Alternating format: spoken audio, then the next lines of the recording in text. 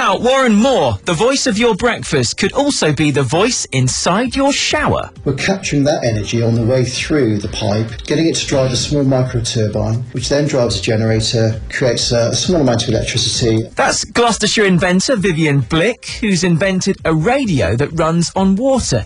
You just attach it to the pipes. You can read more about that at hearts.co.uk.